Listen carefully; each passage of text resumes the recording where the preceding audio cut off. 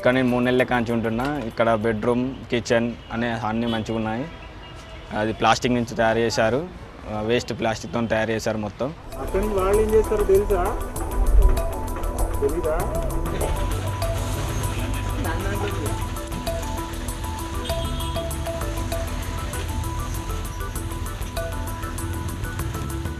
Recycling of plastic obviously is a wonderful business opportunity. First thing, as you know, plastic cannot be stopped. So either we have to reuse or it will go to landfill.